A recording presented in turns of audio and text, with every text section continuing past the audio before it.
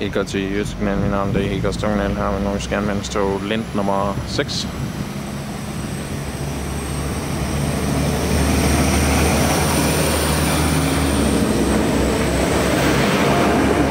Hallo Nordisk Jernbanestog Lind nummer, nummer 6.